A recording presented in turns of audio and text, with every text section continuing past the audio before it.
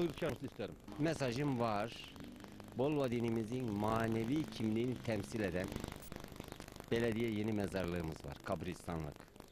Burada bazı sorunlarımız daha aşamadık. Sayın Başkan burada çok güzel çevre çalışması, çevre düzenlemesi falan yaptı. Bazı eksiklikler var. Bir de ilçemizi acil olarak, acil olarak da şehir içi trafik sorununu rahatlatmak için otoparka ihtiyacımız var. Başkana iletmek istediğim e, özellikle yol çalışmalarımız daha güzel bir vaziyette mahalleler arasında olursa daha iyi olur. Allah yardımcısı olsun diyeyim. Belediye e, özürlü vatandaşlara yönelik çalışmaları nelerdir? Belediyenin özürlü vatandaşların ar- e, her zaman arkasında belediye başkanı bilhassa yani bizi destekliyor yani. Peki Bolvedi'nde hala eksiklikler var mı?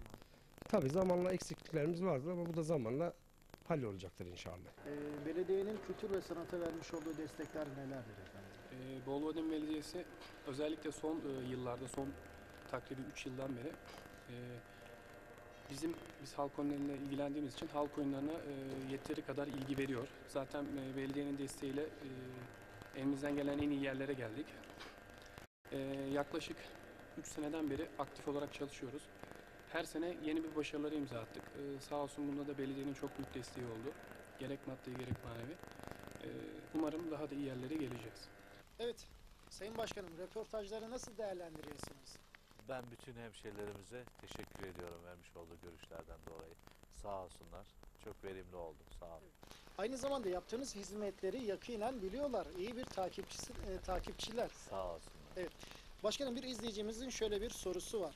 Heybeli termal tesislerine almış olduğunuz villalar ve kür merkezi ne zaman faaliyete geçecek demiş Sayın Alişan Dere Beyefendi sormuş. Kendisine teşekkür ediyorum. Şöyle söyleyeyim. Villaların biz 60 tanesini aldık. Bunun 16 tanesini yani e, Konya Karayolu'ndan içeri doğru girerken sağ tarafta kalan Boltaş evlerinin önündeki 16 villayı Haziran ayı itibariyle yaz tatile, okullar tatile girdiğinde hizmete verebilecek şekilde çalışmalara başladık. Oranın ihalesi yapıldı. Şu anda orayı yapacak olan müteahhit e, hızlı bir şekilde çalışmalara başladı. İnşallah Haziran'da 16 tanesini açacağız. Niye 44 tanesini geriye kalanını açmıyoruz? Bunun çok somut bir nedeni var. Birçok e, buraların ha- bakıma hazırlanması e, masraflı olduğu gibi biz bir de ilgiyi denemek istiyoruz burada. Gelecek e, dönüşe göre de diğerlerini de hazırlayacağız. Ama uzun dönemde hep söylediğim bir şey var. Oradaki 44 artı diğer 30 taneyle beraber 74 tanelik bir alanın ayrı müstakil özel bir şirket tarafından kiralanması, özelleştirilmesi bizim arzumuz. Kür merkezi hukuki süreçler bitti. Bunu uygun tamamlamamız gereken birkaç çalışma var. Havuzlarımızı gördüler, düzenledik arkadaşlarımız. O mekana ilişkin alet edevat var. O alet edevat kısmı da çok önemli değil. En önemlisi orayı kür merkezi konseptine uygun işletecek bir sağlık merkeziyle anlaşmamız. Şu anda görüşmelerimiz yapıyor. İnşallah umut ediyorum ki so- e, doğru yolda ilerlersek Çok güzel Haziran bir tesis ayı olacak itibariyle en geç Temmuz ayı itibariyle orayı da kür merkezi olarak kullanırız. Sayın Başkanım e, şöyle sorularıma baktığım zaman sizin döneminizde ilk defa başlatılan bir hizmet var. 888 Kent Bilgi Sistemi. Efendim bu fikir nereden çıktı ve bu hizmetin faydaları veyahut da dönüşümü nasıl? Tabii. Tabii 888 kent bilgi e, sistemi hizmetini şöyle değerlendirmek lazım. Ben öyle diyorum. Kendisi bizatihi önemli olmakla beraber önemli olan şu. Bizim belediye olarak vatandaşlarla kurabildiğimiz irtibat. Hani biraz önce dediniz ya maşallah bol ve dinler sizin faaliyetlerinizi yakından takip ediyor. İşte insanlara bu imkanı sunabilmek açısından önemli. Bizim için önemli araçlardan bir tanesi bu. Biz nasıl yapmış olduğumuz hizmetleri, talepleri vatandaşlarımıza iletiriz sorusundan çıktı. Ve buna ilk geçen ve bunu en doğru kullanan belediyelerden bir tanesi. Geçen arkadaşlarımız oraya gitti. İlgili oranın genel müdürü dahi Bolvedin'e gelip e, belediyenizle, başkanınızla tanışmak istiyorum diye özellikle vurgulamış. Biz doğru da kullanıyoruz orayı. Ama dediğim gibi bunu oluşturulan basın ve yayınla, halkla ilişkilerle, internet sitemizle bütün olarak değerlendirmek lazım. Onun bir parçası. Aynı zamanda 3870 SMS hattınız var. Sanırım Bolvadin halkı istek ve taleplerini SMS yoluyla sizlere ulaştırabiliyor. Aynen. Ben Günde iyi kaç bir SMS SMS alıyorsunuz başkanım? Ee, biz ben iyi bir SMS kullanan bir Evet. e, belediye başkanıyım aynı zamanda. Kendi benim aldığım SMS'leri de özel cebime aldığım SMS'leri de dikkate aldığınızda bizim günde 50'den aşağı e, SMS almıyoruz. Çok iyi bir rakam değil mi efendim? Efendim Sayın Başbakanımızın çok güzel bir sözü var. Diyor ki yaptıklarınızı değil hayallerinizi anlatın. Sayın Doktor Ahmet Naci Helvacı Beyefendinin Bolvedin üzerine hayalleri nelerdir efendim? Benim e, Bolvadin üzerine en büyük hayalim şu.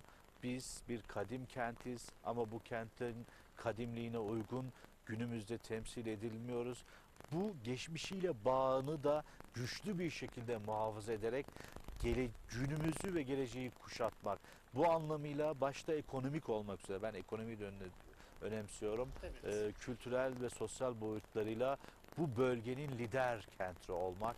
Biz bu yolda hız, hızla ilerliyoruz. İnşallah bunu da sağlayacağız. İnşallah.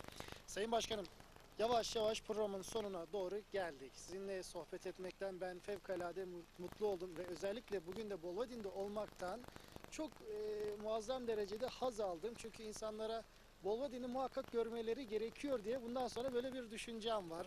Son olarak bizi Sizi de- izleyen Hilal TV izleyicilerimize ve özellikle Bolvadin halkına neler söylemek istersiniz? Ee, Daha önceki programımızda da özellikle vurguladığımız gibi gerçekten biz iyi şeyler yapmak istiyoruz. Gerçekten Bolvadin'i değiştirmek istiyoruz. Bunun dışında başka hiçbir beklentimiz ve arzumuz yok. Vatandaşlarımızdan birinci talebimiz bu arzumuzdaki samimiyetimize, gayretimize inansınlar. İkinci ve önemli hususiyetlerden bir tanesi, biz tabii ki AK Parti hükümetinin bir e, belediye başkanıyım ben. Ama dönemimiz artık kaynaklar sınırsız değil. Biz bir arkadaşımızın veciz bir şekilde ifade etmiş olduğu gibi bir bardak suyla bir kovayı doldurmaya çalışıyoruz. Bunda da hamdolsun ürettiğimiz kaynaklarla başarılıyız. Bize destek versinler, bize dua etsinler. Yanıldığımız yerde de uyarsınlar ama doğru yaptıklarımızda ne olur birilerine anlatsınlar. Bunun dışında gul yabanilerin sözlerine kanmasınlar. Bolvel'in doğru yolda ilerliyor. Eyvallah. Evet sevgili dostlar yine bir programın sonuna doğru yaklaştık ve geldik.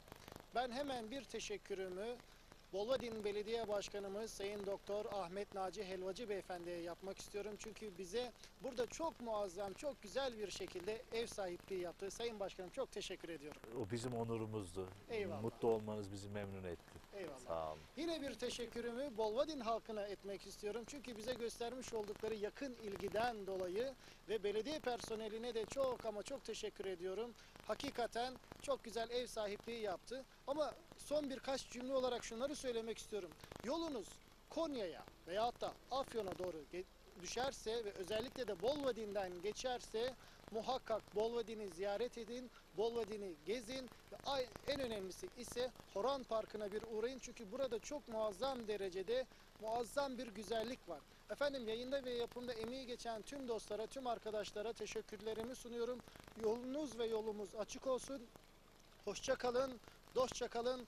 Allah'a emanet olun efendim.